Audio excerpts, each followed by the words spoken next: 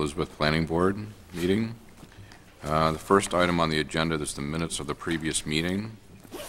Are there any corrections or revisions that anyone would like to make? No. I move that the minutes be accepted as written. Second. All those in favor, please raise your right hand. It's unanimous. Um, Items of correspondence this evening. Letter from Mr. and Mrs. Hankinson regarding Tomasoni, DEP, excuse me, DEP site location law changes, Governor's Regional Conferences on Small Businesses, and FAME website notice slash letter uh, Also on the agenda, uh, excuse me, on the podium tonight is a letter from the town attorney regarding um, Fort Williams Park uh, proposed zoning ordinance changes, and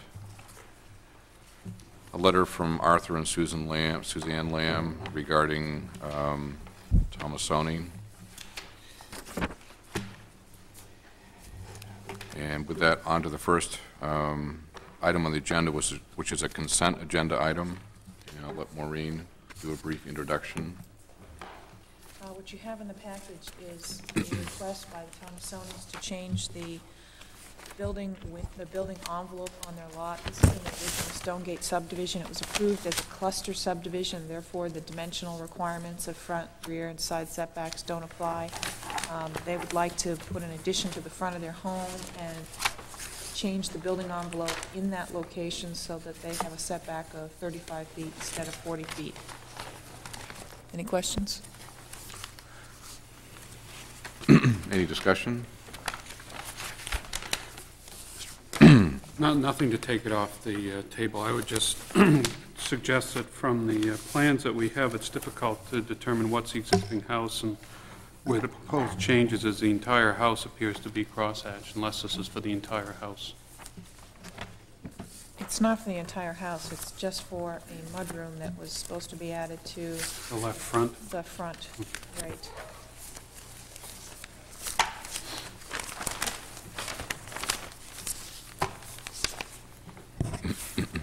So it would be the only, only the portion of the house that exceeds, that approach, that is encroaches on a forty-foot setback from the road. Small piece.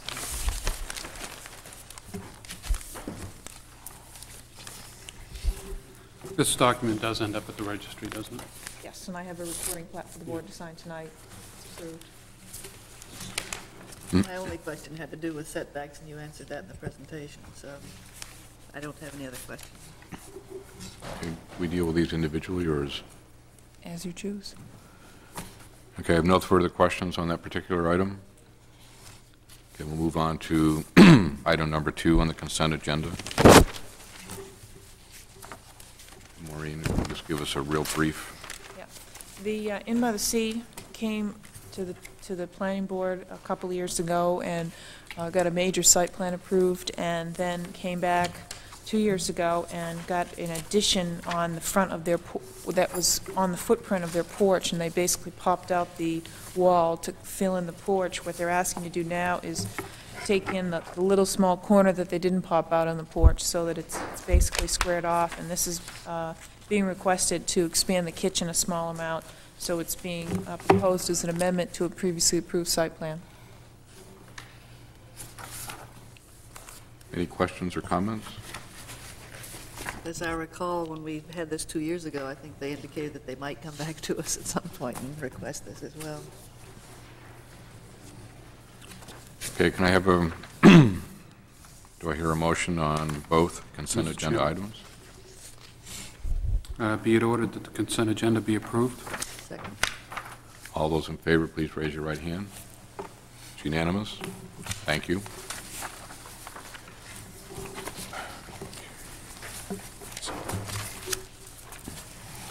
The first item on under new business is the Lawton Public Access Waiver, request by Norman and Susan Lawton for a public access waiver for Lot U32-5A located off Columbus Road, Section 19-4-2B, and we will be having a public hearing during this. Another introduction, if you, Uh, The board last tr- saw this plan in July of this year and tabled it to the next meeting. The applicant has asked to be tabled a couple of times since then, and so they're coming back tonight. They have um, redrawn the plan to more clearly depict the area that they're going to be altering and to identify the wetland areas. And if you look at the plan, what, what you'll find is that there is an RP1 wetland, which is a very poorly drained soil of less than two acres, but more than one acre, on the western side of the site. They're staying at least 100 feet away from that wetland. There are also poorly drained soils on the site, which would constitute an RP2 wetland, and they're also not doing any work within those RP2 wetland areas. Therefore, they don't appear to need a wetlands alteration permit. Uh, This lot does not have any frontage on a town-accepted road, so it still requires a public access waiver before it can get a building permit. And the applicant has designed uh, a driveway off of an existing driveway. They're proposing to also in- um, uh, increase the width of the existing driveway to better accommodate the ladder truck, and that's what they're coming to the board for this evening. Uh, The board had scheduled a public hearing for last July, and so that has been advertised for tonight's meeting. Thank you. Uh, would The applicant like to come to the podium and give a brief presentation?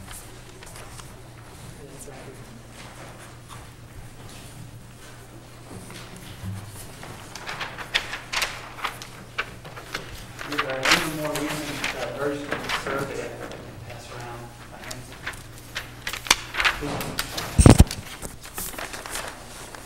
In response to the town engineer's comments, uh, we uh, made a couple of small revisions on the survey, uh, specifically clarifying the uh, grade where the driveway meets the street, and also the dimensions on the turnaround. The earlier survey indicated that they were consistent with what I understand was the traffic engineering B40 standards. The uh, new survey adds some radius and dimensions to that to to clarify that. And, uh, and again, it makes clear the uh, grade where the driveway meets the street uh, was, the town engineer was correct, was closer to 3.5% rather than the 3% that we had uh, submitted. Uh, And that clarifies that point as well.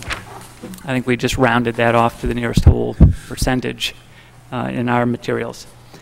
The, hopefully, the plan will clarify the board's uh, concerns last time in terms of identifying the soils uh, in the wetlands and the uh, corresponding areas of the wetland zone in that vicinity. The, we're here for the public access waiver, and uh, of the criteria that are required for the public access uh, waiver, there are three of them that we uh, don't meet or- or would, would request that we get waivers from these standards in the ordinance, and those were on the, the minimum pavement, the maximum grade, and the pavement radius. Uh, The minimum pavement, as shown on the plan, follows the, uh, in large part, the existing driveway that, that leads to the neighboring residence that's owned by the, the Mintels. Uh, We are widening it particularly as it, up near the street, and also it would be clearing some of the trees along the side. Uh, The plans as submitted, I understand, are um, okay with the fire chief in terms of what it takes to get um, fire access vehicles into the site. Uh, Similarly, on the maximum grade, uh, at 3.5%, I understand that that also is sufficient for the uh, fire ladder truck to get in there, and that also uh, is something that the chief is, is okay with.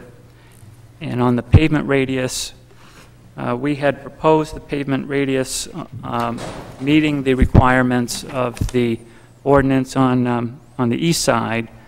Um, It it could be done on both sides. That that adds up to a pretty wide uh, driveway entrance uh, to this property. Uh, We thought that particularly ingress, the uh, emergency vehicles would be coming from the east side, and that was the most critical. Um, And we were hoping to just meet the radius criteria of 19.4.2 on the east side and leave the west side pretty much as it is. The fire chief also submitted a letter last week dealing with the turnaround uh, and essentially requesting that the entire turnaround be paved. Uh, We're showing uh, pavement on part of it that we would double as a driveway to the proposed uh, property, Uh, and then the rest of it uh, loam over gravel, um, so it'd be grassed and uh, It could be paved. um, I guess we just have to leave that up to the discretion of the board.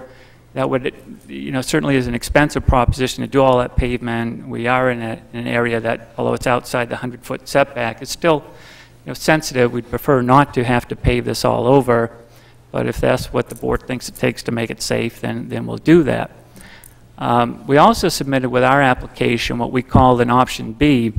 Now, if we can reach an agreement with the neighbors, and I have to say, we haven't broached that subject with the neighbors at this point, but if we can, there is an option here that would essentially meet the fire chief's uh, request and, uh, and would also, we think, serve as a better emergency access for the Mintel's property, and that would be using the existing driveway that leads to their, their house as part of the turnaround. And it, it, uh, I guess by good fortune for us, if it does work out, it does meet the B40 standards in terms of what would be required for turnaround. I want to make it clear, I mean, we have no right to, to use their property outside of the 50-foot wide right-of-way for a turnaround, and that's why we're asking for our, I guess, our Plan A, if you will, to be approved. And then if we can reach an agreement with them uh, that would allow us to proceed with a Plan B, uh, we'd like the board to consider that as well. And as I sa- stated in my letter of submission, that we'd have to make that clear before uh, we we um, applied for building permit on which of those two options uh, we'd be proceeding with. Um, John Swan, the surveyor from Owen Haskell, is here. He's done most of the field work here and drawn up these plans, so he can address uh, specific questions the board may, may have about the, the details of the plan. Uh, Mr. and Mrs. Lawton are still in Florida, so they're not able to attend tonight. So, thank you for your consideration. Thank you.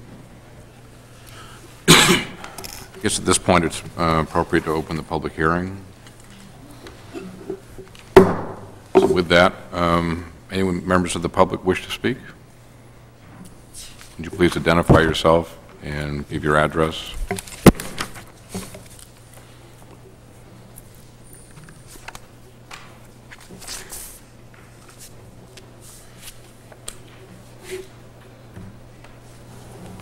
Uh, Good evening. My name is Chuck Mintel, and I'm the, uh, I live at 28 Columbus Road, which is the, um, the lot that shares the uh, driveway the- and owns the 50-foot right-of-way. Um, Before I begin, I- I'd like to, uh, first of all, uh, point out that in the motion before you, um, the motion uses the word substantially meets the requirements. And as Mr. Jewell, the Lawton for Mr. Lawton, just pointed out, uh, three out of the seven standards relative to street construction are not met. So I, I take uh, somewhat exception to the word substantially meets when over 40% of the requirements are not met. So I would just ask that the planning board consider um, all the evidence they're about to hear tonight and not um, view this as a done deal. Um, which brings me to my first point, that the reason that the public access waiver should not be uh, approved simply is because the standards for the, the street construction are not met. Uh, I don't think we need to review what those standards are. Um, I, I can do that if you want. Um, The bottom line is three of them are not met, and no one can dispute that. The, uh, the second reason I think that the uh, public access waiver should not be uh, approved is simply because I don't believe that the planning board has the authority to uh, grant a variance of these uh, street construction standards.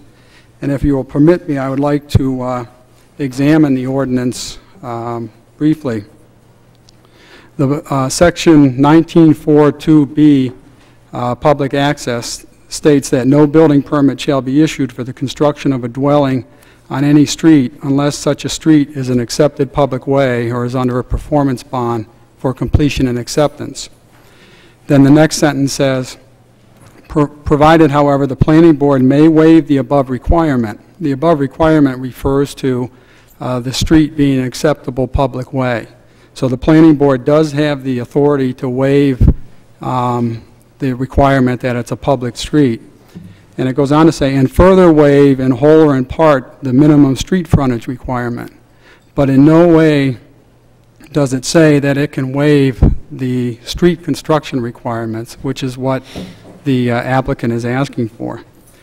It goes on to say that in order to waive either the uh, accept the public way or the uh, street frontage requirements, it should give consideration to the following things.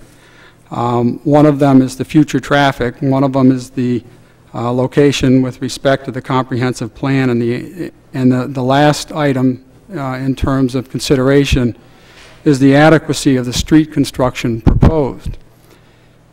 As I've said, the, the planning board only has the authority to waive the um, uh, public way, you know, the accepted public way or the, the minimum road frontage. Uh, The ordinance goes on to say that the adequacy of construction of streets for serving three or more lots um, can be, uh, a variance for those standards can be given by the planning board, uh, and it refers to uh, the zoning, or the subdivision ordinance in order to do that. It goes on to say the adequacy of street construction for streets serving one or more lots shall be determined by the following minimum standards, and goes on to, to give seven standards. So by breaking down the public access language uh, in the zoning ordinance, what the planning board has authority to do is waive the uh, acceptable public way, as well as to waive the minimum street frontage requirements. But in, it doesn't say that the planning board has the authority to grant a variance for one-lot subdivisions. Now, the other question is, does this make sense? And the fact of the matter is, is that for three or more lot subdivisions, when you go to the subdivision ordinance, there's plenty of uh, latitude and authority for the planning board to um, grant variances in that situation. But one or two lot, um, uh, one or two lots which don't have to go to the subdivision, it makes sense to have a stricter standard. And therefore, not, the planning board not having the authority to change these minimum standards uh, seems reasonable, not to mention the fact that that's what the, the law requires, or the zoning ordinance requires.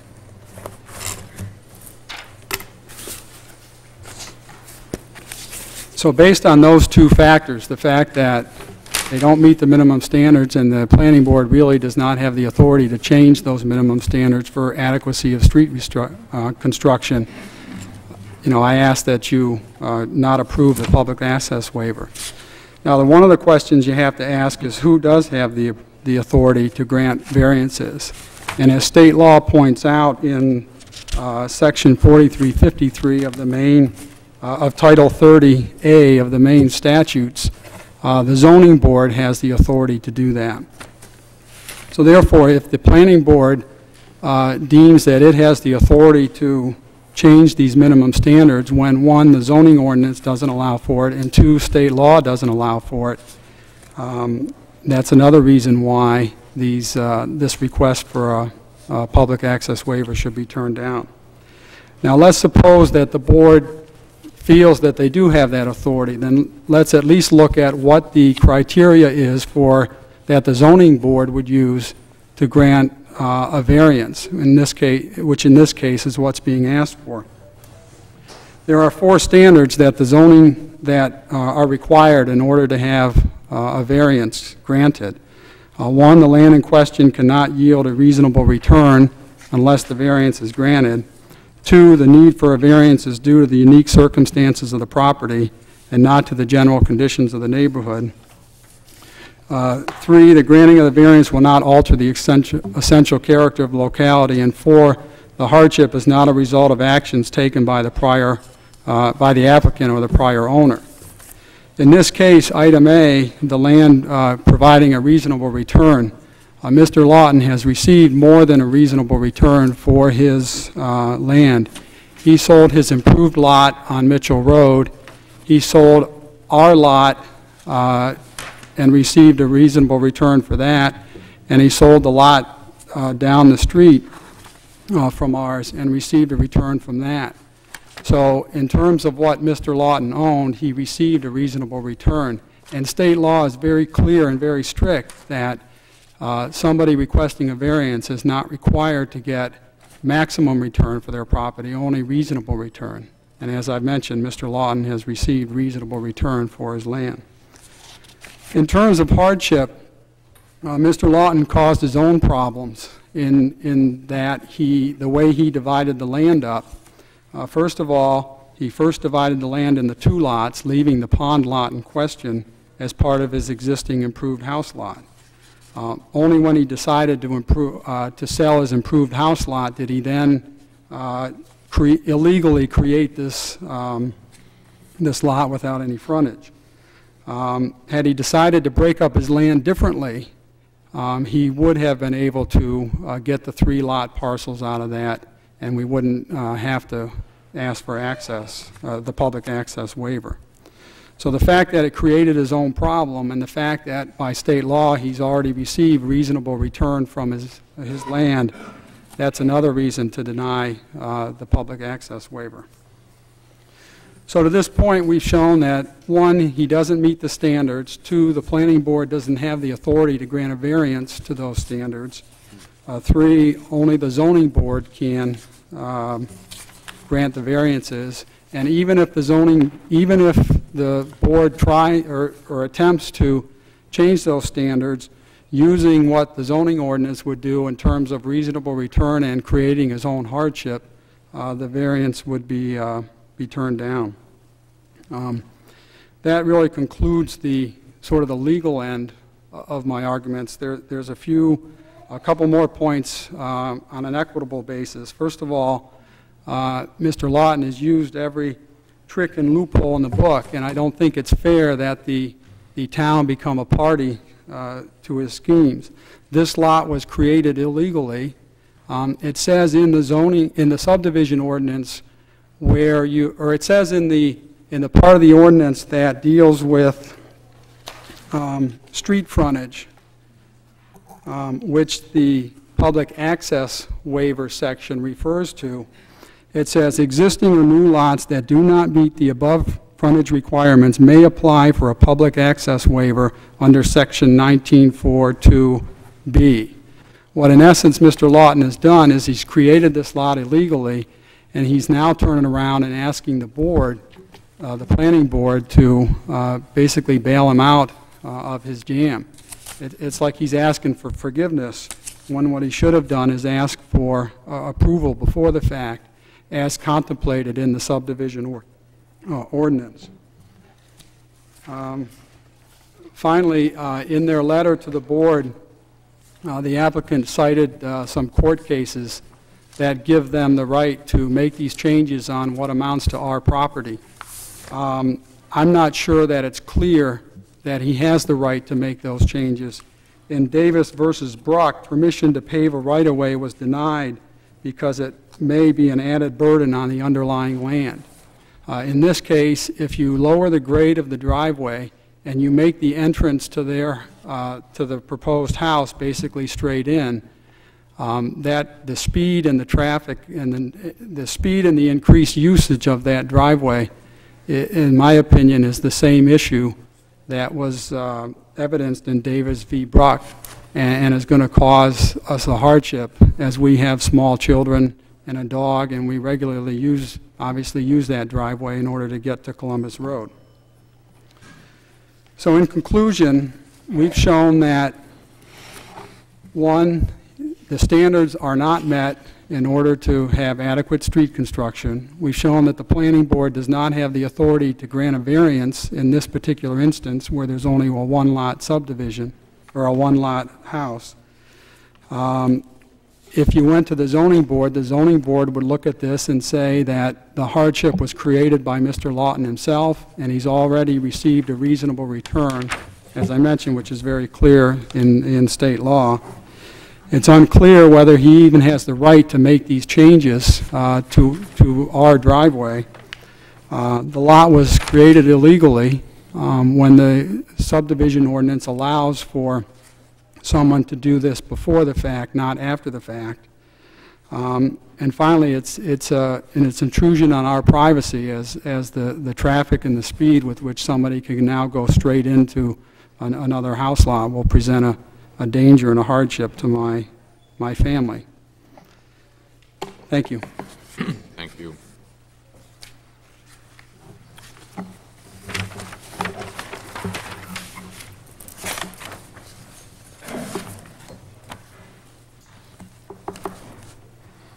Uh, I'm Leslie Newton, uh, 24 Columbus Road.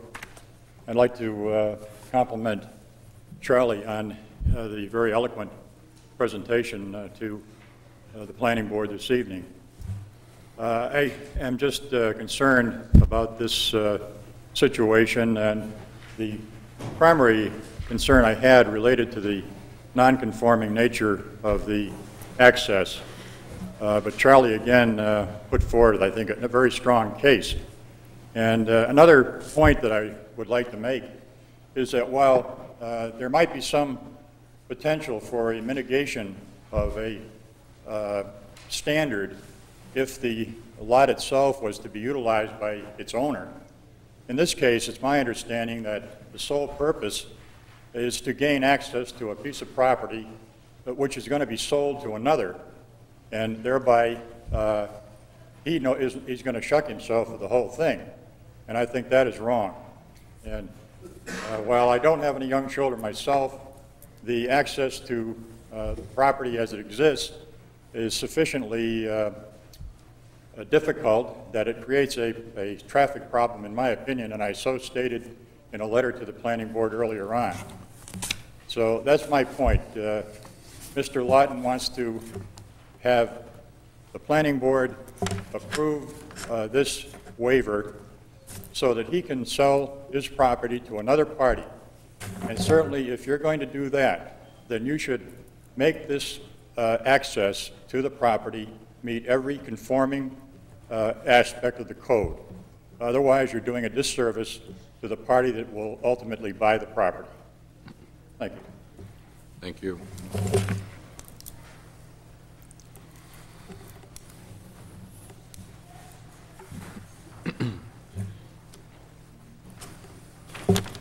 Ann Tarbell, and I live at Wedgewood Road, which is adjacent on the, the uh, southern side of the property. Uh, I'm very concerned about the pond, because anytime the ground is frozen and there's a little bit of rain, all the water, excess water comes into my yard, and the brook, the effluence goes underneath the culvert, which often gets plugged up. Uh, and then behind more property that goes across uh, Mitchell Mitchell Road and comes out by Stonegate, I think but the uh, whole area uh, from that pond to Wedgewood Road is a swamp. And I'm wondering if any building gets done on that property, if the ground absorption is changing the level of the pond, or it, it just won't happen, because I am concerned about that. There's a lot of water in there. So I don't know how far away he um, the building could be and still be on the property. That's my concern. Thank you.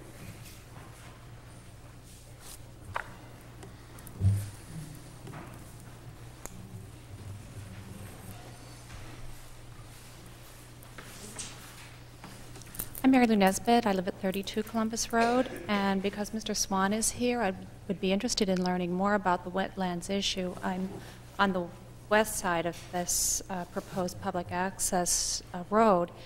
Know that I have considerable wetness in my backyard and wondered what the impact would be there and what the evaluation process would be too, if there was building there, how that would be attended to. Thank you.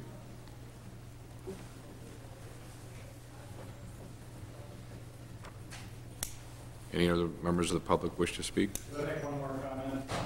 Please, will you come up to the podium, please?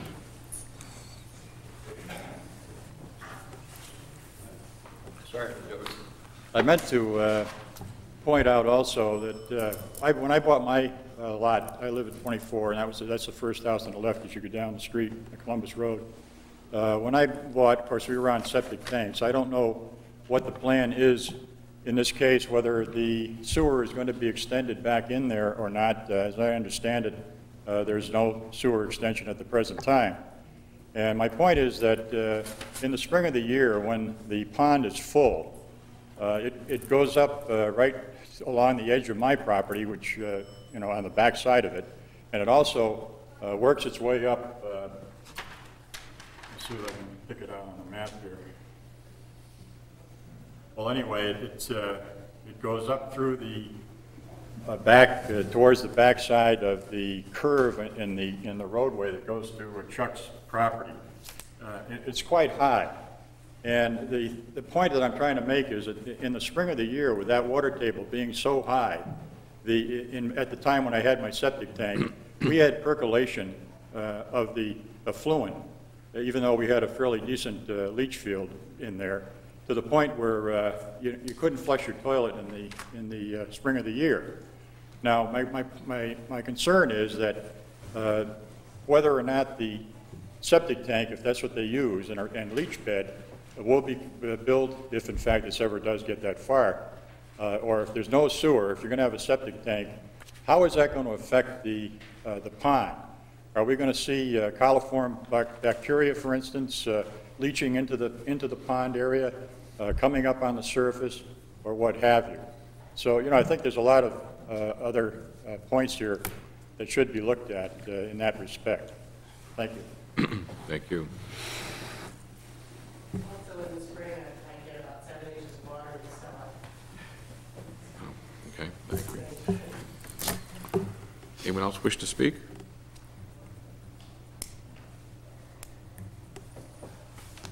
Seeing none, public hearing is closed. Um, Who would like to start from the board with questions for the applicant? Mr. Chairman? Mr. Emery? Uh, A couple of questions. Uh, Plan depicts a 100-foot buffer zone uh, setback from the RP1 zone, and that goes as far as the existing uh, driveway, from what I can make out on the plan, uh, because the line seems to coincide with the, with the uh, proposed uh, roadway alignment. Where does it proceed from that point? If I might, uh, members of the board, my name is John Swan, as Tom said earlier. Um, The, we haven't mapped the wetlands onto the, onto the Newton property. What we, what we did was map the wetlands to, uh, to make sure that we weren't intruding into, into the 100-foot buffer strip until we got to the existing paved area. I, I don't have an answer for you, Tom, beyond the existing driveway. Thank you.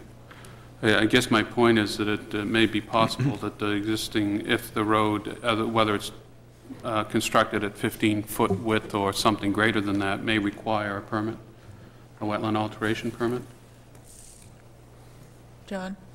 I, I believe you, you did a little bit more than just look at the wetlands on the site. We did, we did make sure that all the wetlands off the site for the RP1 area were less than two acres. My understanding is that any area where the 100-foot buffer intersected with the existing driveway, the applicant uh, chose not to alter the existing driveway in that location. Well, well, that's true, yes.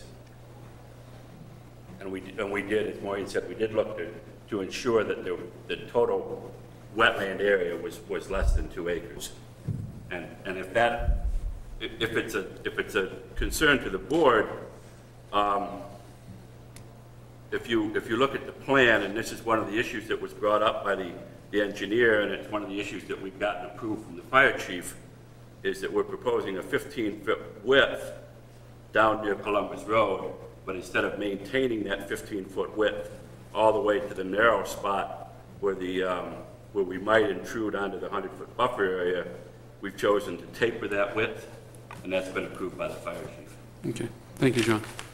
Uh, With respect to option B, I would suggest that the applicant put option B uh, in their back pocket until they've talked to the abutters. Um, It's highly unusual for a planning board to continue to consider two alternatives, let alone get one uh, through in an evening. And it would seem to me that if you're serious about option B, the uh, course of action would be to go to the abutter initially uh, get the abutter to agree to it, and then if you have something that's workable between you and the abutter, bring that back to the planning board for review.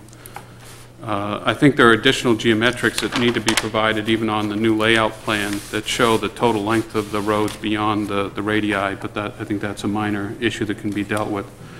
I think um, certainly uh, Chuck Mintel raised a number of issues. Uh, I guess for the record, and in case uh, you haven't watched a lot of planning board meetings, it's not unusual for the planning board and I'll look to Maureen to fill in whether or not uh, we're empowered to do so. It's my understanding we certainly are, that we do provide waivers from time to time with respect to the public access standards uh, in compliance with a comprehen- a comprehensive plan, out of a grave concern and a great concern that excessive pavement, uh, particularly when only a single lot may be added uh, to what would otherwise be just a driveway, uh, can be excessive and uh, not consistent with the rural character of the town. Um, With respect to meeting the variance criteria, I, I'm not giving that much, I'm, I'm not concerned about that because this is not the zoning board, it's the planning board, and those are very, very uh, rigorous criteria. If they go to the zoning board for whatever reason, then I'll le- leave it to the zoning board to deal with, with those standards. In all fairness, I, I don't recall what our typical waiver width is. Somehow it seems as though it's 14 feet with uh, a two-foot uh, gravel and loam seed shoulder on each side, which provides a total 18-foot accessible width, and that may be the compromise uh, here. Um, Again, I'll ask the the planner to, uh, uh, when I complete this, I have two questions for the planner. One is the issue with respect to the board's authority to grant the uh, design or or uh, layout waivers uh, for the the driveway. My second question is, have the, did the Mintel's lot receive a public access waiver, or does it meet the minimum frontage star- uh, standards? Yes, those are two separate questions. And lastly, with respect to the effects on the septic system, uh, perhaps the applicant can enlighten us as to where they stand uh, uh, with uh, HHE 200 forms. Uh, Our submission indicates that the uh, intent to connect with the sewer. Okay. I see uh, there are several test pits here, but those are probably for soils, not for uh, septic design. I believe all the ones shown on this plan are Okay. are for uh, the uh, wetlands determination. Okay, thank you. And with respect to what rights uh, the applicant may or may not have within the right-of-way, I I think that, as this planning board has done in the past with boundary disputes and and perhaps legal disputes as to what rights one may or may not have within a right-of-way, the uh, applicant has submitted evidence with respect to rights of uh, access and and uh, construction of utilities as part of the Mintel's uh, purchase uh, showed up in that deed, and I'll- I certainly, uh, although that's a concern, that's an issue beyond this board to be resolved among the abutters.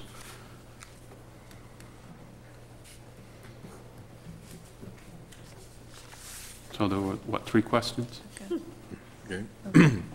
Uh, Starting with the the typical waiver width, uh, typically, the board and the fire chief have have been kind of trying to come to a a meeting of, of numbers, and what you have usually, the fire chief wants 18 feet, and the planning board wants less than that. So what you've usually been doing is the 14-foot width um, with an 18-foot wide gravel base.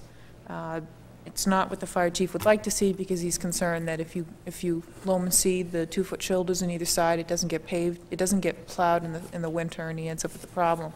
But that's generally what you've been working with. The fire chief has also, in the past, been willing to uh, reduce the, to agree to a width that's even narrower than 14 feet. I think the narrowest he's gone is 12 feet in the presence of wetlands. So he's been willing to narrow it down in that one location where there, there is a wetland constriction, and then it widens back out again. Uh, In terms of the, the board's authority for waivers, the board has been waiving public access waiver standards for over six years. Um, So it has been accepted interpretation of the ordinance that the board can waive standards in favor of a reduction. And in fact, um, except in a a subdivision, I've never, I can't think of a time when the board has required an individual lot to put in a 22-foot wide driveway. Um, 22 feet wide is actually two feet wider than the current standard for a local road. Uh, Third, on the Mintel lot, they did not receive a public access waiver. Uh, They were a lot that pre-existed the frontage requirements. Uh, So even, th- they have 50 feet in that zone, they would normally need 100 feet, but it was a lot that pre-existed the requirements, so they were able to build without a public access waiver. And finally, on, on the, the septic, the applicant did submit a letter from uh, the Public Works Director stating that they can connect to the sewer. Uh, However, it's possible that even if someone could connect to the sewer, they might choose to hook up to a septic system instead. So if the board has strong feelings about that, you may consider that in your motion. Thank you. Thank you, Mr. Uh, Just a a couple of other comments. Uh, Whether or not the, uh, the original subdivision was created illegal, illegally or uh, ex- exercised extreme creativity with the ordinances, uh, public access waivers have been granted uh, throughout this community under very similar situations, and this board has expressed great concern in the past about its tool, used, it's being used as a planning tool rather than a tool to relieve hardships. Uh, That's um, unfortunately the way it is, but that's uh, the ideal situation with a public access waiver is to maintain rural, rural character. The, uh, the abuse that it sometimes leads to is, is uh, poorly uh, uh, developed subdivisions.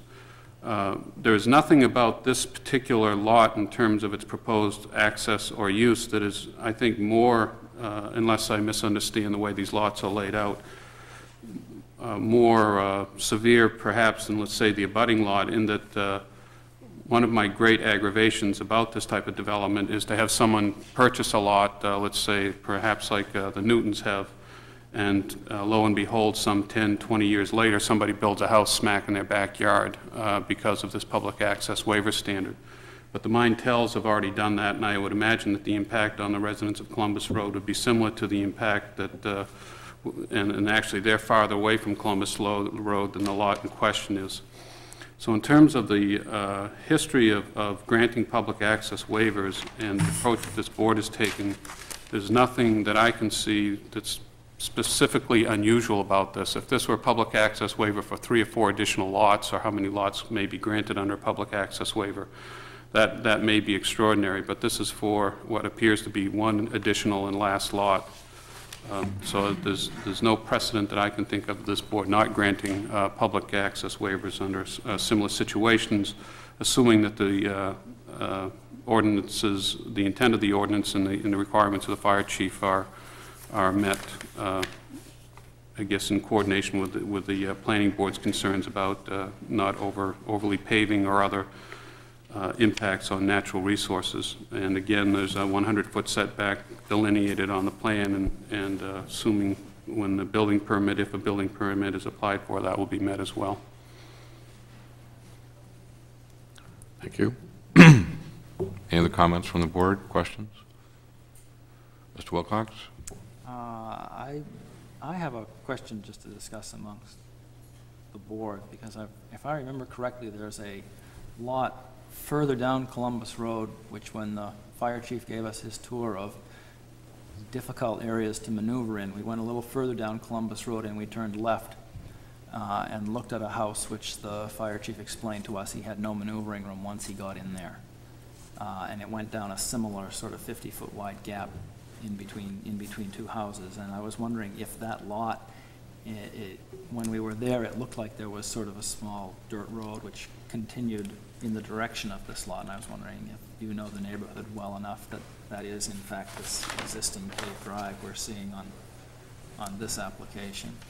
If, if you can picture Columbus Road with a lot of uh, relatively small lots lining both sides of it, what has happened is there's, there's a long uh, strip of land that runs behind uh, those existing homes on the left side of Columbus Road, and over time, they've been divided up into large lots, and there's been little 50-foot access ways. The one you're talking about is the end of Columbus Road. But if, if you went east of this lot, just kept moving back, you'd hit the Mintells lot, and I think that's the last of four lots in the row.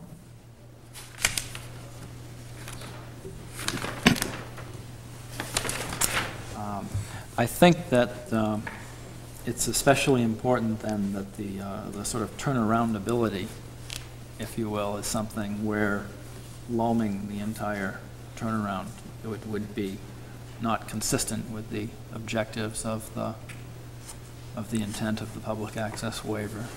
I don't think, uh, I, for one board member, would require that it all has to be asphalt and paved, uh, but on the other hand, I would think it needs to be drivable. We, we've seen, we saw some on that same tour where they were just sort of gravelled ways that kind of blended in with the wood, woody nature of the sites and we're not, you know, we're just travelable by the vehicles. I don't know how other people would feel about that.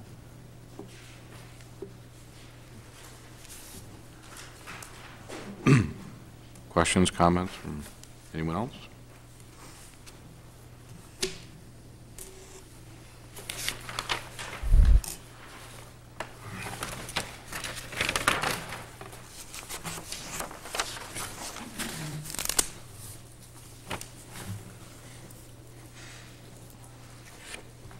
Any other questions for the applicant, or?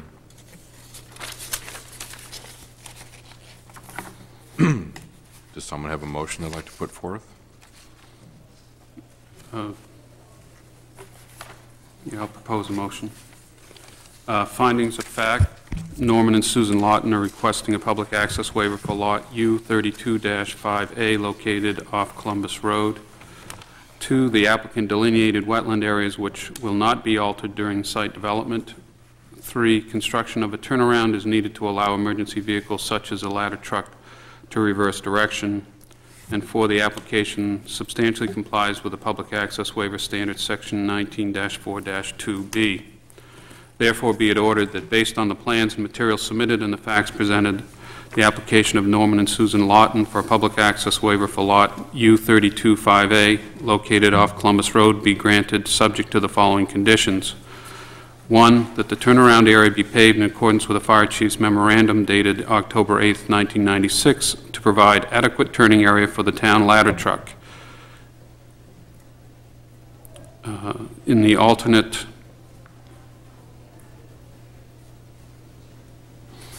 uh, um, period.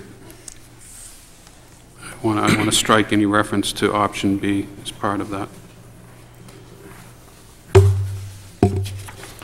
And I would like to add a uh, second condition, and the second condition that the uh, access road uh, be uh, not less than 14 feet wide with a two-foot uh, gravel shoulder, um, typical to uh, previous approved uh, public access waivers uh, by the Cape Elizabeth Planning Board.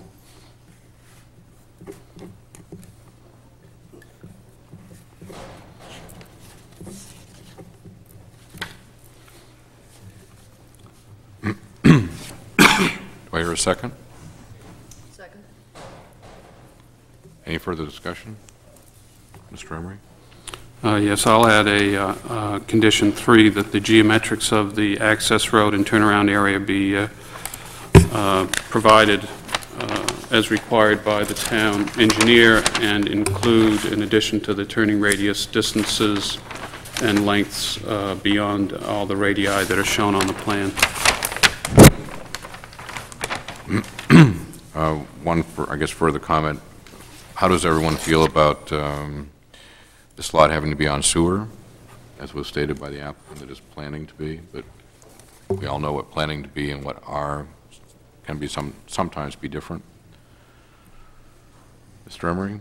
I think all of the evidence that we've heard uh, indicates that the only appropriate thing to do here is to have it on town sewer. It appears to be a lower uh, than the adjacent lot, certainly, and I think a lot of people in Cape Elizabeth have inherited uh, almost unbuildable conditions. And uh, in this uh, time and and day, I don't see why we should have a uh, a lot that, uh, which has immediate access to public sewer, not beyond public sewer which is again consistent with, I think, the sewer policy of providing sewer to infill development in Northern Cape. Do you want to make that a condition of your, Certainly, I'd love to make that condition four.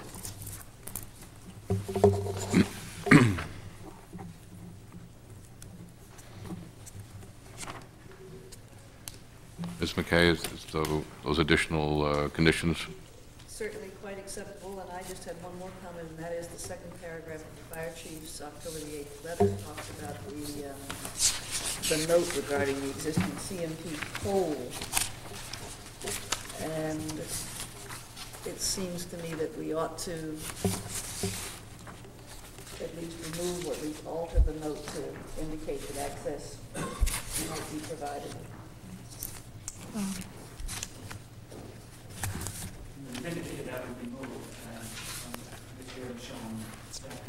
Be moved to, is that what you're Yes, I- suggesting? I'd suggest uh, adding another line to the note that's saying to be, to be relocated as CMP, as per CMP requirements, uh, to allow access to the existing paved drive.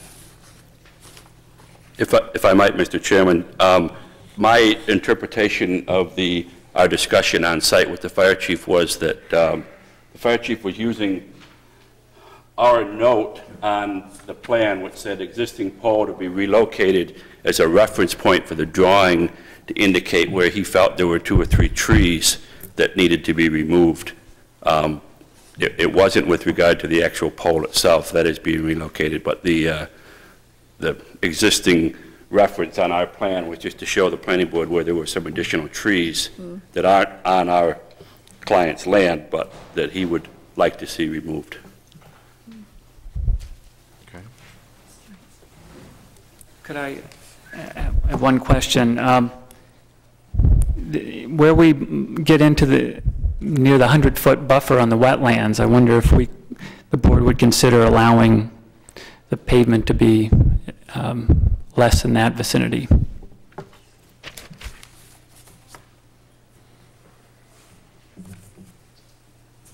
I, I really, uh, I think that's uh, between the applicant and the fire chief, and the, uh, I mean, if you caught uh, between a rock and a hard place here, I, I I think I feel quite strongly that we have to uh, refer back to a precedent and other applications, and, and we're adding a second uh, lot here. Uh, I certainly, I don't necessarily agree with the fire chief with respect to the uh, loam and gravel and seed area, whether that should be all paved, since it's essentially uh, adjacent to the 100-foot uh, setback, Uh, but if that's necessary to get approval, I can understand it. Staking that out and requiring it to be plowed certainly is something that could be checked from time to time for compliance. Uh, I, I think that's a matter for the board to discuss. The concern there is that if we, uh, you know, it becomes arbitrary as to where that uh, hardship lies. Uh, You know, do we end up with a pavement that uh, narrows down to 10 feet or 11 feet uh, and, and for whatever reason, reason gets extended over half the length of the driveway? Uh, I, it's, I think it's quite unusual for the board to hear as much concern from abutters for a public access waiver as we've heard this evening, and I think as a compromise, uh, if the board uh, simply refers back to its, uh, what it's granted in the past as waivers and in essence uh, set for a procedure in terms of, uh, I mean, as a precedent for procedure in dealing with this matter, I think that's what we have to rely upon. That's my attitude. I'll let the other board members uh, express theirs. Do we have any other opinions from the board? Mr. Wilcox? Well, one of the things I've noticed, uh, that uh, quite often we see the turnaround come through in a sort of traditional hammerhead-type form where it's a large, large, open rectangular area of paving or compacted gravel. And I think that this sort of Y-shaped turnaround uh,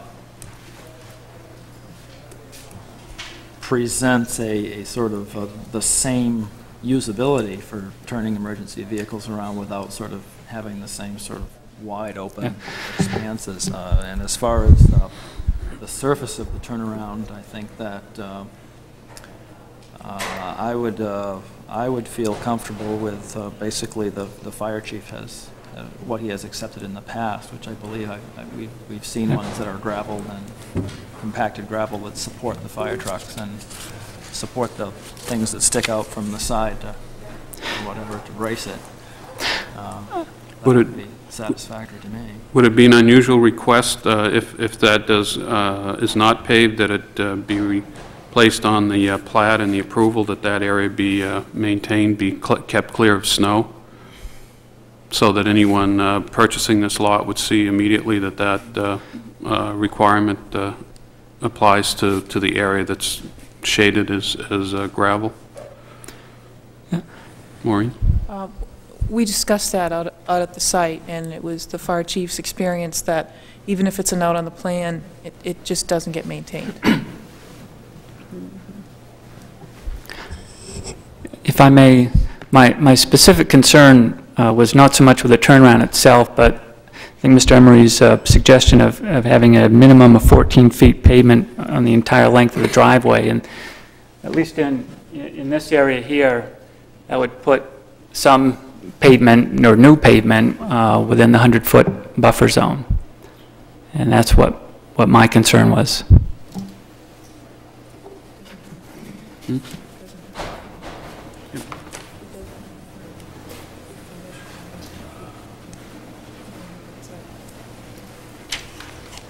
Is that something that can be permitted with a uh, wetland alteration permit?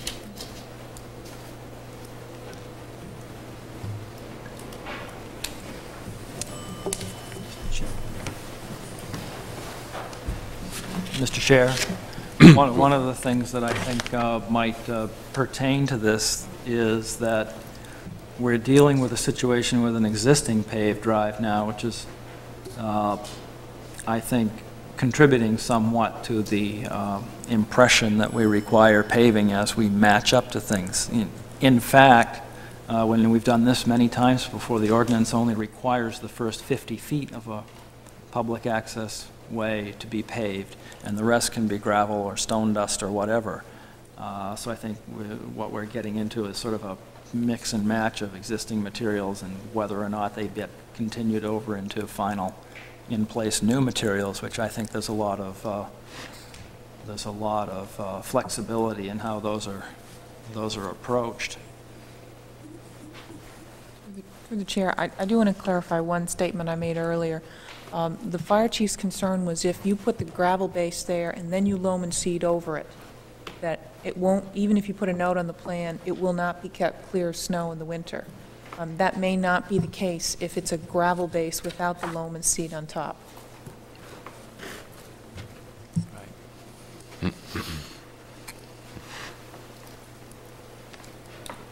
Anyone else have any feelings about this? I, for one, I think would rather um, have it taper for part of it than widen out again than have to disturb the wetlands.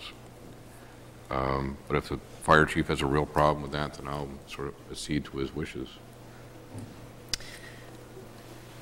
Mr. Chair, we're talking about two separate issues here, and it- it seems as though the question about the turnaround itself, uh, I guess I don't have a strong sense of having it be paved if it's going to be a gravel base without loam and seed, and that's acceptable to the fire chief, but I'm not sure we've really heard from the fire chief on this. The fire chief has said, with respect to the turnaround, that he would prefer it to be paved, period. So I don't know if the, if the compromise about gravel base without uh, loaming and seeding would be acceptable to him.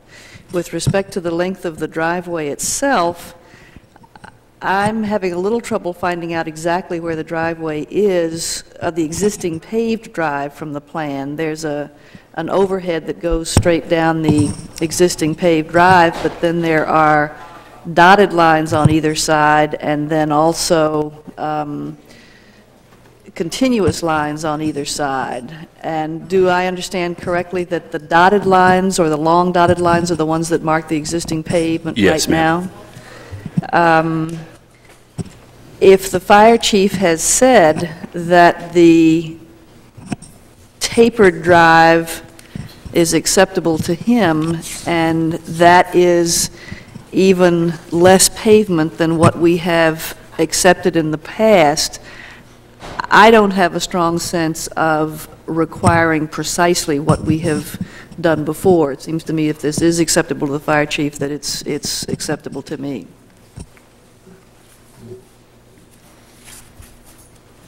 Any other thoughts on either point?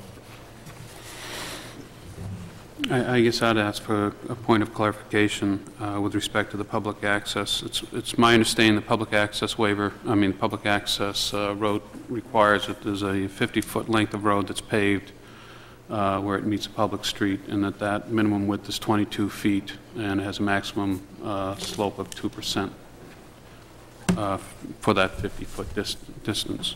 Right. What, what standard uh, beyond that 50 feet uh, typically applies, other than the fire chief's uh, requirements to get emergency vehicles and/or the planning board's typical uh, using of- of uh, 14 feet with two-foot wide sh- uh, shoulders?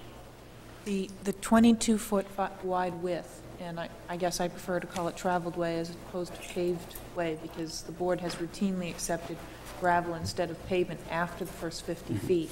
There's nothing in the ordinance that says you can't accept gravel. Um, The 22 feet is supposed to go the entire length of the driveway, and that's what the board has routinely waived.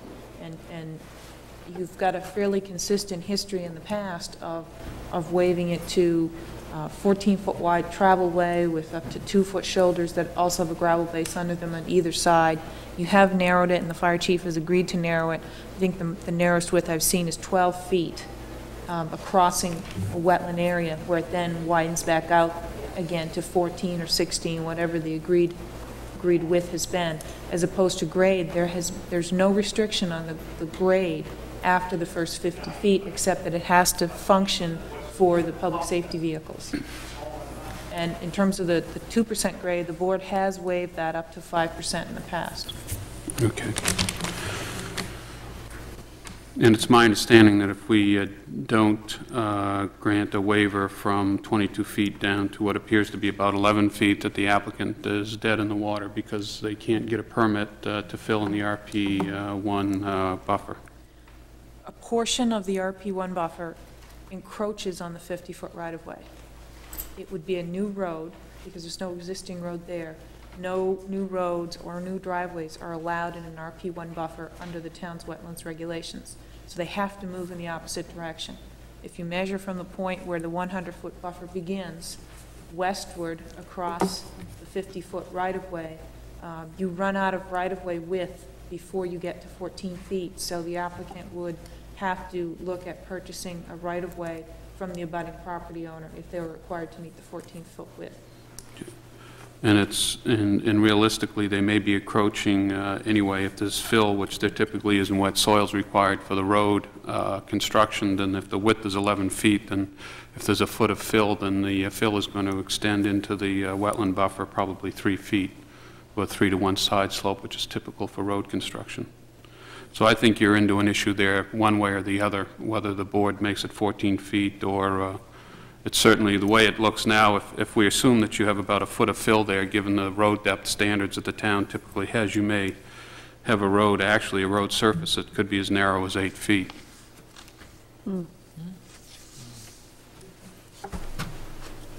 Mr. Chairman, if I might, um, just uh, two points of clarification. One is that the, um, the the fire chief, we have met on site with the fire chief, and he has reviewed this drawing. And my understanding in, in reading his letter was, and in the discussion that we had on site, the only problem that the fire chief had with what we're proposing is that he wanted the entire turnaround paved. Uh, I think we're prepared to do that if that's a, if that's an issue with the board. The, the fire chief, to my knowledge, had no problem with either the grade or the width design of what we're proposing. The second issue is that on our plan, you'll see a, uh, a a note that um, a dimension of 11 feet. What we're, what we're telling the planning board in that instance is that we have 11 feet of paved width, either existing or that we can do without being in the buffer strip. The actual paved driveway in that instance would be wider than that. But because there's existing pavement on the adjacent property owner's land, we're not allowed to use that. But for fire and public safety purposes, the, the existing driveway, when we get done, will be 12 or 13. I, to be honest with you, I'm not sure whether we can get 14 feet or not, but it will be wider than the 11 or 12 which we show. It's just that we don't have a deeded access to that one or two or three feet of, of existing pavement on the west side.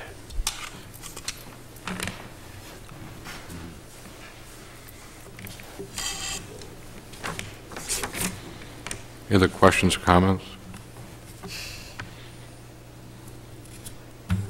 how do you feel about your motion at this point in time? Is there anything you would like to revise or want to restate? Uh, I think the issue is here that uh, although the fire chief has not required additional uh, width in the driveway, uh, the planning board is faced with the uh, enviable situation of having to assess whether or not the abutters' concerns uh, and typical planning board procedure on, on such an application uh, is outweighed by um, the issues dealing with the 100-foot RP1 setback. My sense is that the additional pavement uh, for the turnaround uh, creates as much of an impact as one or two feet of fill within a 100-foot buffer may, but that's not the issue. The issue is that if you're in the buffer, you require a permit, you can't get a permit, so you can't build the road. Um, My sense is if we change it to something else, we're granting uh, something that we haven't done before. I mean, Maureen has stated that we've been as narrow as 12 feet.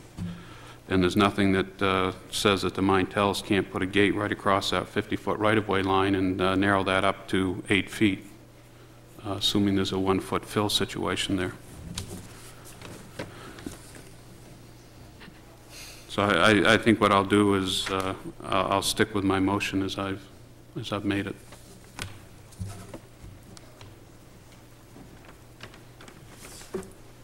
Okay, that motion has been seconded, so I guess it's appropriate to vote on that at this point in time. All those in favor of the motion as proposed, please raise your right hand.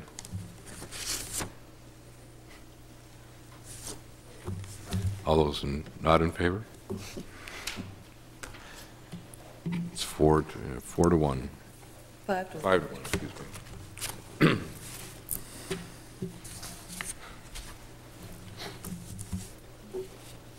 Thank you.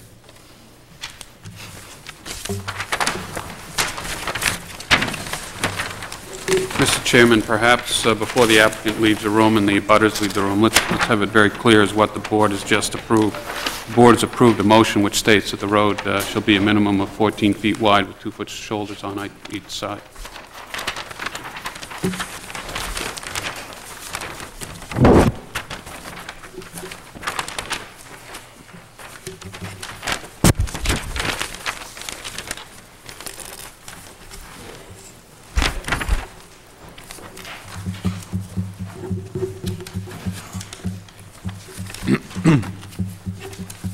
First item under other business is Fort Williams zoning ordinance and master plan amendment.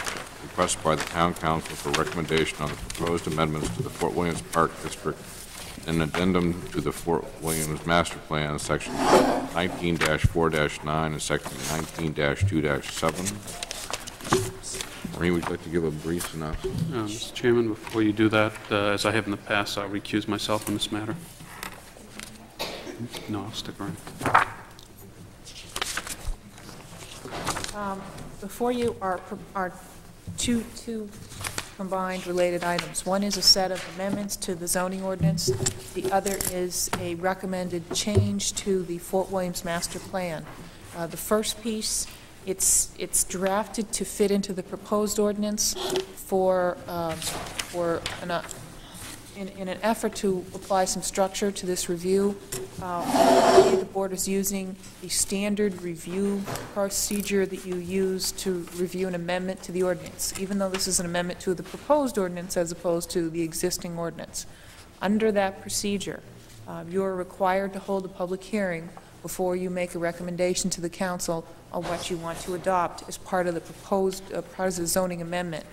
The um, the recommendations you're making in terms of the master plan is advisory to the council. You can or cannot hold a public hearing, although there's no reason not to do both of them at the same time. Uh, What you have before you are uh, four definitions to be added to the definition section. Those have been revised based on the, the um, workshop the planning board had a couple of weeks ago, and there were no substantial recommendations. It was basically typographical type issues. Then there's a, um, an addition of a paragraph to this- the purpose statement in the Fort Williams district. uh, a list of uses for the southern section of Fort Williams, and then a subset of listed uses for the green that's in the southern section of Fort Williams, and the park maintenance area, which is in the southern section of Fort Williams. And finally, uh, a recommendation that the, that the map that the board has previously seen is not into your package tonight also be adopted, but that that map should be amended to, to label uh, those things that are referenced in the definitions, including the park maintenance building, heavy equipment building, building number 326, and Humphrey Road.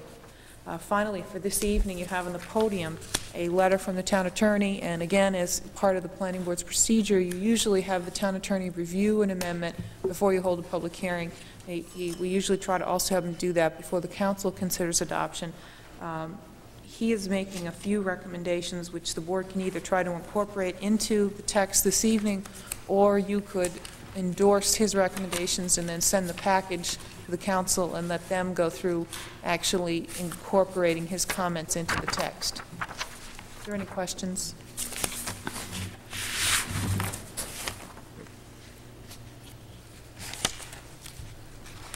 First off, how does, has any members of the board been able to, had a chance to read the letter from the town attorney and digest it? I have not.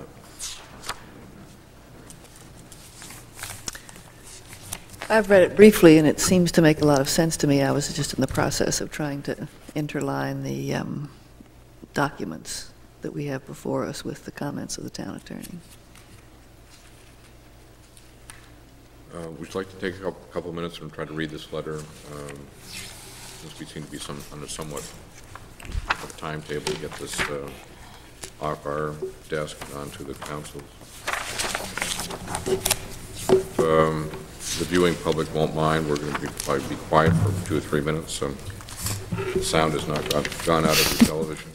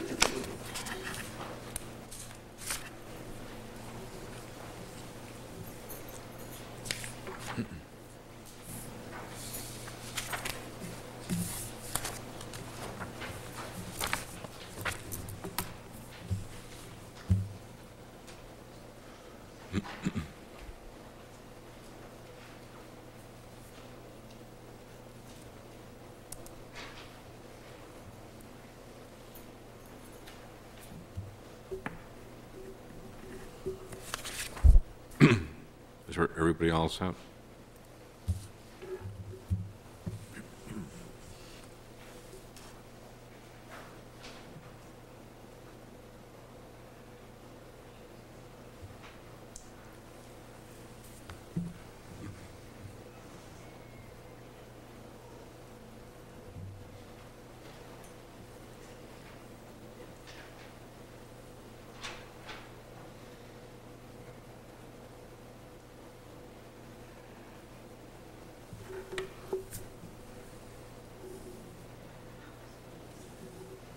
Okay, um, Mr. Wilcox, you all? Yes. Yep. Um, How would the board like to proceed? We take, we have two documents really to deal with here.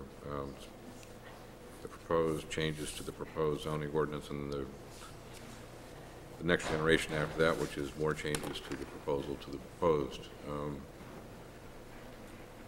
You want to do the first um, zoning and master plan amendments first, and then try to incorporate the changes from the town attorney, or do you want to just, um, as was possibly suggested, uh, forward the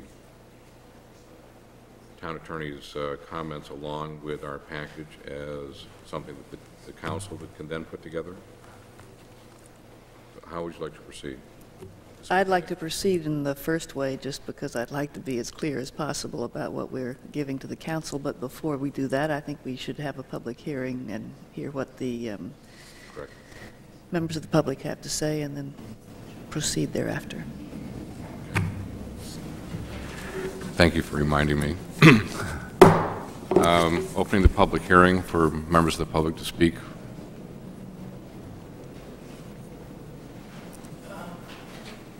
Would you like to please come to the podium and state your name and address, please?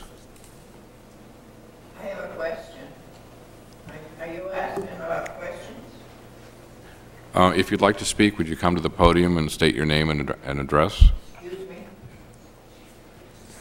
If you would like to speak, would you come to the podium and state your name and address and ask your question?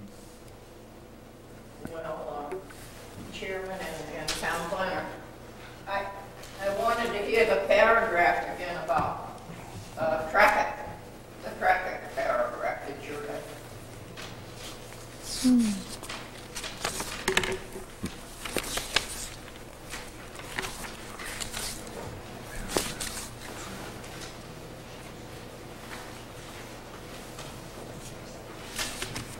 This is a question to the town planner. Are there drafts back in the back of what we're looking at? No. Are there what?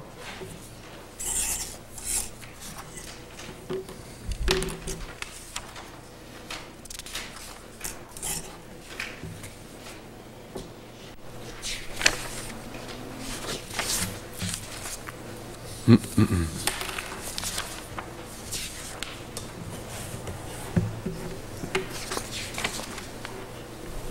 seeing a traffic paragraph. I'm not sure what section you're talking about, because I don't think there's anything in here that specifically talks about... You're back there. Sure. Foot like this way. I'm not sure there's anything in here that specifically talks about traffic. I don't think there's anything in here that talks about traffic. You know where Shore Road is, 971 Shore Road, and there's a caution light, and there's also a walk to cross. And when people come around that corner there, I've tried to go across the crosswalk. There's been one policeman stop for me and another person. I don't even use the crosswalk. I go up the street by the first port gate to go in. The caution light, I don't know what it's there for. People don't pay a bit attention to it. Are- are they you- don't even let you cross the crosswalk. You have to cross up above because the cars come too fast, so you have to cross up the other way to get across the street. Are you concerned about the sidewalk that may be proposed for Shore Road? There is a sidewalk there. Is, is that what your concern is? No, I'm concerned about trying to get across Shore Road. Okay. What the planning board is talking about right now are changes to uses in Fort Williams. Uh, Changing uses in Fort Williams Park. There's nothing in what is being discussed tonight that talks about traffic on Shore Road. The, the council will be discussing that tomorrow night. Tomorrow night. That's right.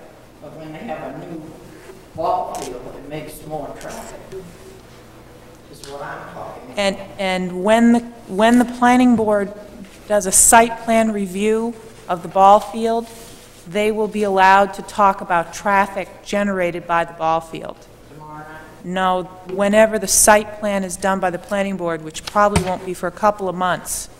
The only thing I'm aware of about traffic is on Shore Road for the council tomorrow night.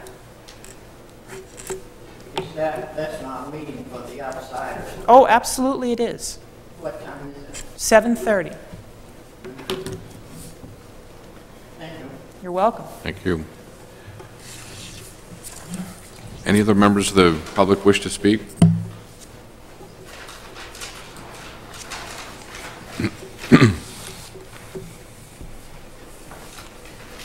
Hi, my name is uh, Richard Berman. I live at, uh, I live on Shore Road. It's a long night, I can't remember the number. Um, I was also on the working group uh, that drafted the original language that uh, you've, uh, making your recommendations, you've reformatted it. And uh, among the working group were two members of the planning board, two members of the town council, two members of uh, the Friends of the Fort, and also two members of the uh, Fort Williams Advisory Committee. I want to recommend, uh, commend you on the work that you're doing here. Um, All the changes and reformatting, I think, have kept intact the intent uh, that the working committee, as I understood it, came out with. So um, I think, uh, you know, I'd strongly endorse uh, this, uh, the changes that you're proposing here to the uh, ordinance, to the master plan, to the policy. Um, Also, uh, the letter from the attorney makes a a whole lot of sense to me. I also might remind you that the Fort Williams Advisory uh, Committee is also going to be sending their recommendations to the council, so that, I don't know if I'd spend a lot of time tonight trying to incorporate the attorney's recommendation, but as I said, I think Maureen made the suggestion of sending it with the attorney's letter, because they're going to have some other input too, I think, from the Fort Advisory uh, Board. But I just want to uh, encourage you to uh, adopt this, to send it on with your recommendations, and I think you've done a great job in preserving and uh, in making some rash, uh, rationale decisions on Fort Williams. Thank you. Thank you. Anyone else, anyone else wish to speak?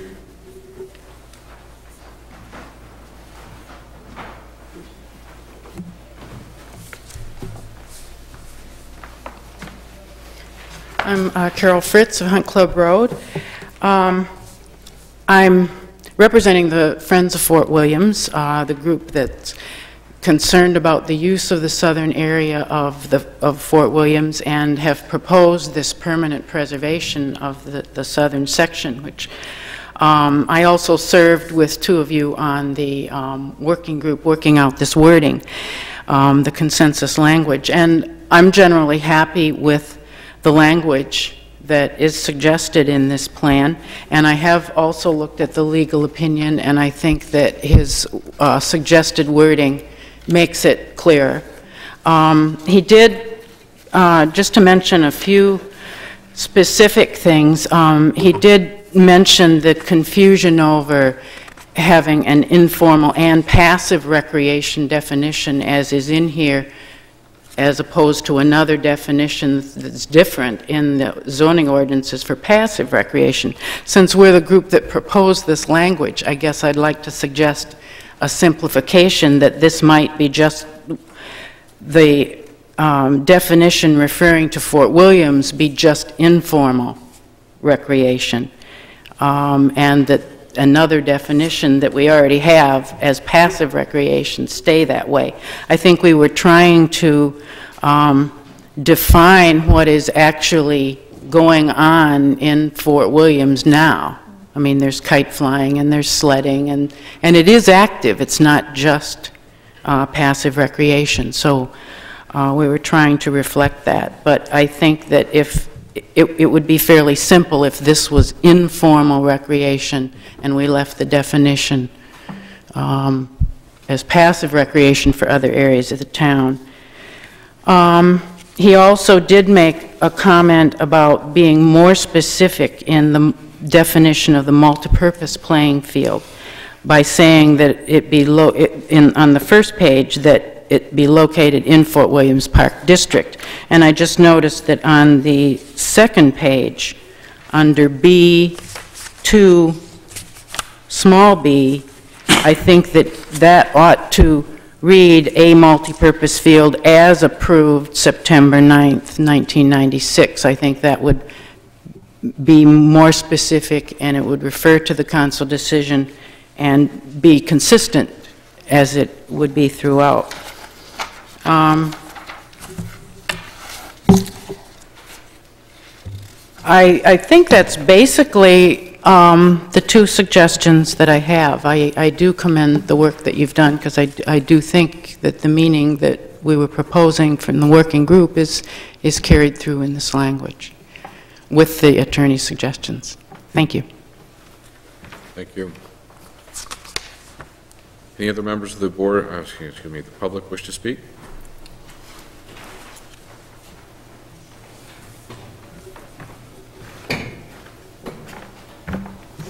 My name is, Mar- excuse me, my name is Marion Guthrie, and I live at 8 Delano Park. I will not be repetitious, but I, I uh, have read the entire package, um, and many people in town should be commended for the hours of work that they have put into this package. So I hope that the planning board will recommend it. Thank you. Thank you. Any other members of the public wish to speak?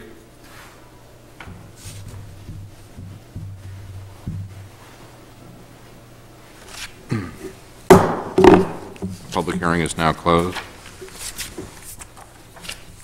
Okay. Um, Before I lose one thought, on, there was a suggestion by Carol Fritz that the multi-purpose playing field, um, it's on page 2B, um, again, for consistency reasons, if we're going to say multipurpose playing field as approved, I think we need to say approved by the town council. Um, And I don't think we can delete that because it has not been approved as of yet um, by the planning board. We will be coming in for site plan review.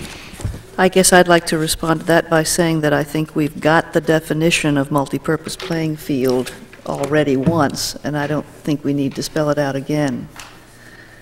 Uh, That's the only thing I would uh, suggest, with all due respect to the presenter. I, It's a defined term. it it is a defined term, and I, I think it's a wonderful idea to take these 19-1-3 definitions and move them down to um, 19-6-8B. So,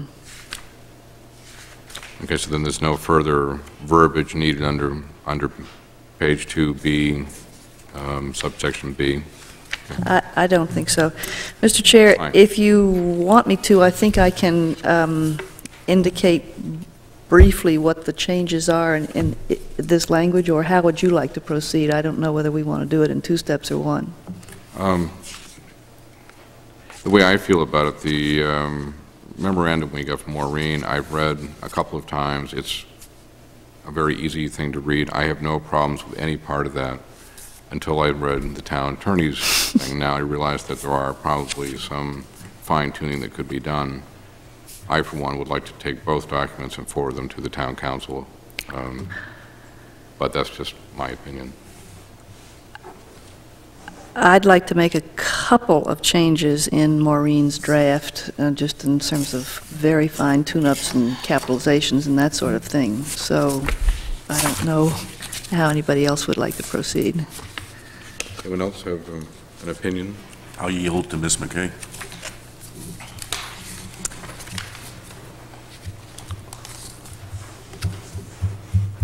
Ms. Carlson or Mr. Wilcox, any opinion? Um,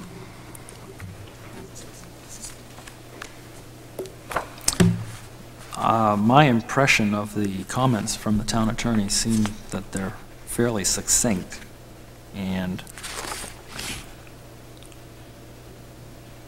could be interpreted by the town council just as easily as us.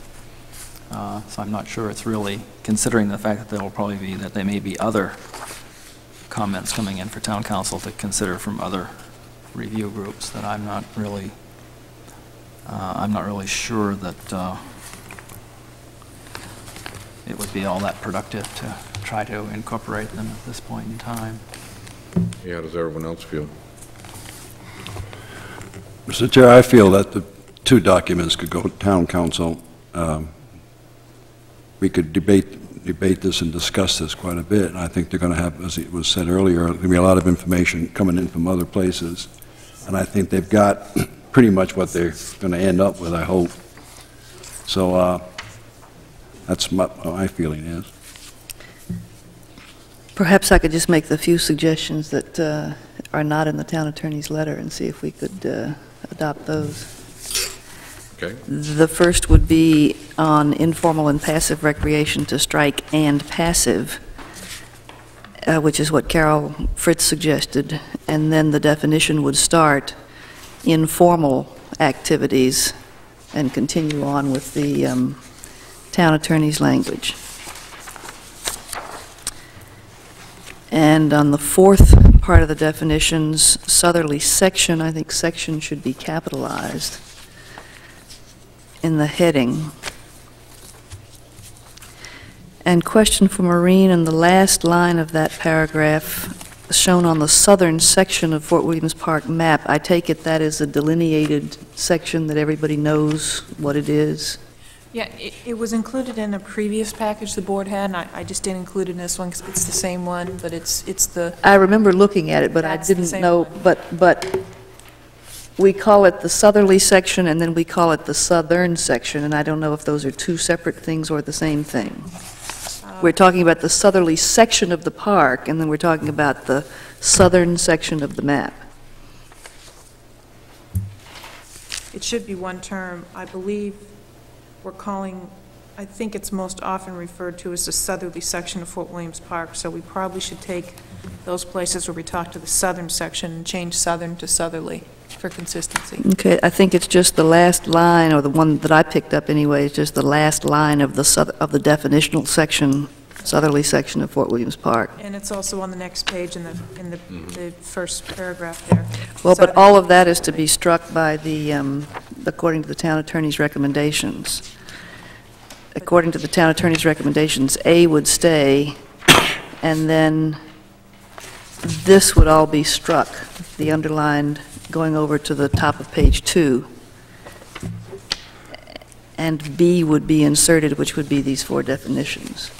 Is- Is that what the board wants to do, though? I think that's what we're saying by adopting the town attorney's recommendations. Makes sense to me, because you will have it right there anyway in section B. There's no need to repeat it.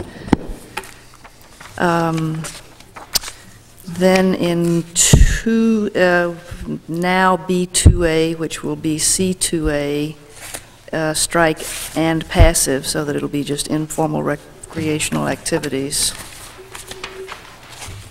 In fact, probably just say informal recreation.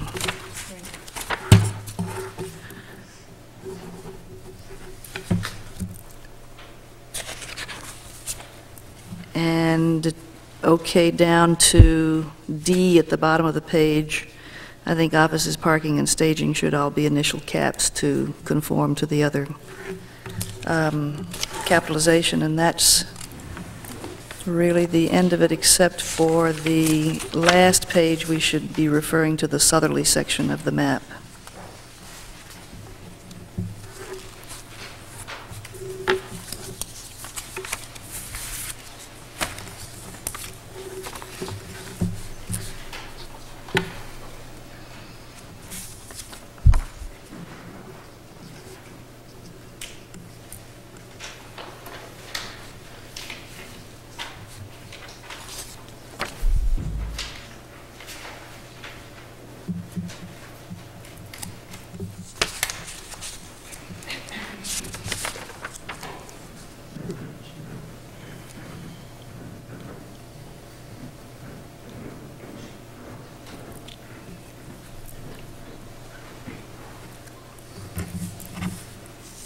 And if those changes are acceptable, I'd still love to see Maureen just make the other changes and do it all in one uh, document, but uh, that must be my draftsperson coming out.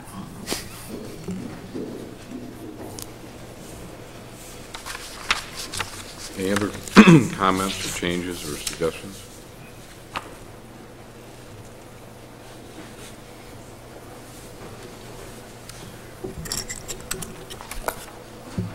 We have a motion from the board? Um, Just, before you make that motion, can I just go over once more what everyone has agreed they want me to change?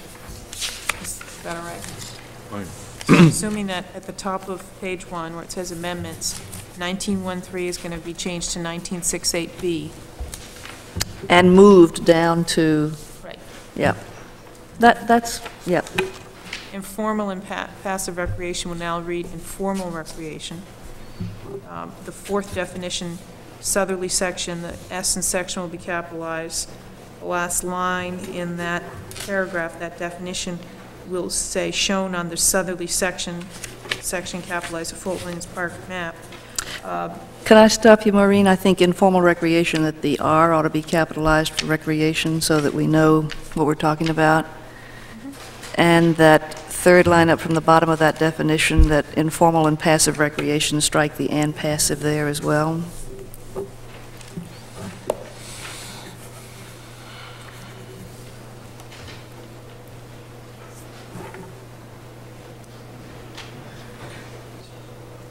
Then at the bottom of page one, where it starts out that last paragraph, the southerly section, that whole par- paragraph will be struck.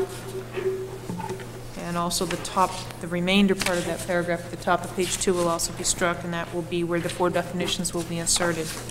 Um, Down under B, permitted uses, 2A, it will read informal recreation with a capital on the recreation instead of informal and passive recreational activities. Um, Under C, it'll say southerly section, Mhm. S capitalized section of Fort Williams Park map. And on page three, where it says recommend adoption of the southerly section of Fort Williams Park map. And then down at the bottom of page two, D, one little, two little, and three little I, offices, parking, and staging are all initial caps.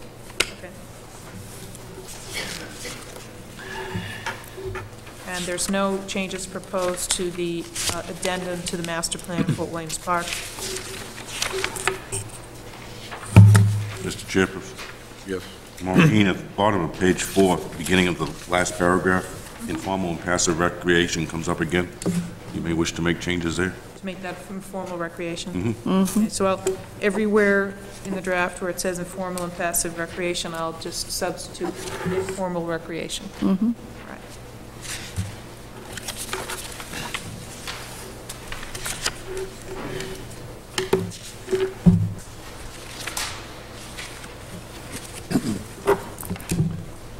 Mr. Chair? I just have a question. uh, Will the town attorney's letter still accompany what we recommend just so they know what his opinions were, or is that not going to go on?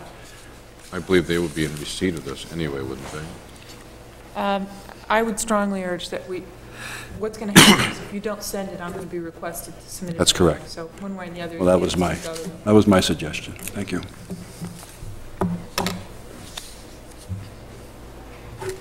Mr. Chair, I, I have a question, and Maureen might be able to help us with this, but have there been any uh, undertakings or intentions at this point in time to deal with other areas of Fort Williams Park in the zoning ordinance as opposed to just in the master plan for the park? Because this now becomes a sort of a unique beast. The, the current zoning ordinance has a special district that's the Fort Williams Park District, and, I mean, generally, the uses allowed in there, mean, it- to it's oversimplifying it, but the uses are basically what's allowed by the town council. Um, The proposed Fort Williams Park District is, is pretty much the same thing. This is um, an effort to take a certain section of the park and be more specific with, with what the uses are. So there has not been any other portion of the park that has gotten the focus that this represents. In terms of uh, protection of permanently dedicated open space, the master plan references numerous locations within the park. Uh, For instance, Officers Row, the Goddard Mansion, uh, the shoreline to the north of Portland Head Light, in addition, not just the shoreline to the south of Portland Head Light, uh, other areas that seem to be of critical importance for the future of the park. Um, Do, uh, in terms of procedure, in terms of allowing new uses in the park, uh, does this uh, establishment of this special zone within the zone, if you will, uh, make it, does that raise this in importance above those other areas because this is now in the zoning ordinance? Um, It has, it has more specific uh, definition of exactly what's proposed, what's, what- what's allowed there. So you could interpret it as it being more strictly protected, um, but the, the proposed zoning ordinance more clearly ties uses in the park to the master plan. So that um, with, with the new ordinance, if it's adopted, um, there are not supposed to be uses allowed in the park that are inconsistent with the master plan unless the council changes the master plan. So that if the master plan currently shows those areas being open space, in, in theory, they should have a, a level of protection as well. But no, it will not be as specifically regulated as the southerly section of Fort Williams Park.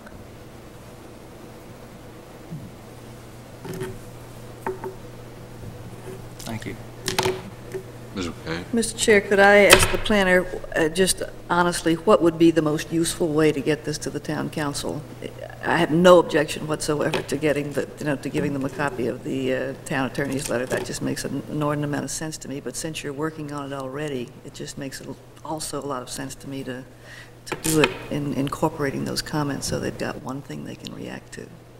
The town council forwarded this to the planning board, I think it was right around September 10th, and they said you had until October 16th, which is tomorrow. So the changes that you've proposed right now are certainly within the scope of my ability to revise tomorrow morning and get to the council before their meeting tomorrow night. Um, I, I mean, it, it would be a good thing if, I think it's good for the council to send along the town attorney's letter, but quite honestly, even if you don't, I'm sure someone will call me and request it. So that will end up going to the council as well, and so, I mean, it's six of one, half dozen the other. I don't see any problem with, with proposing the changes you've already asked for and sending the letter. Uh, I think it just gets them a little further along. But what I'm suggesting is also incorporating the, the changes in the town attorney's letter into the revised draft that you do, so that they've got a smooth thing to look at.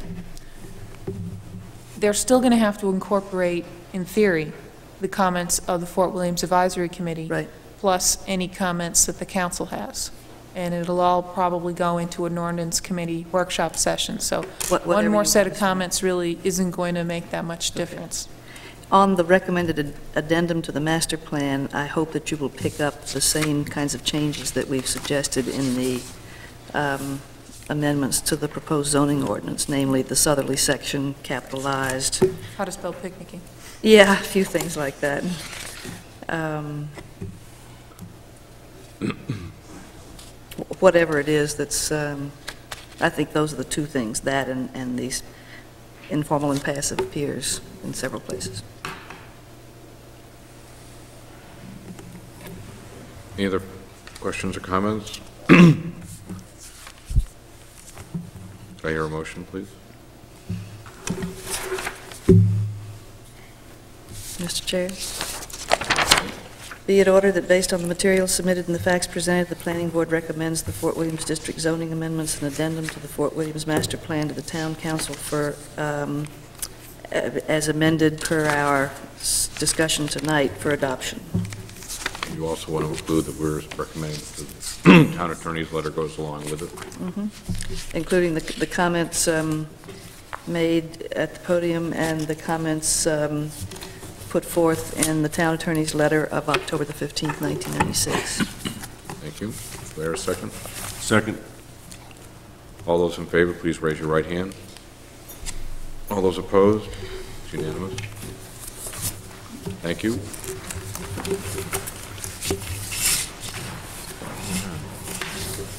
And good night.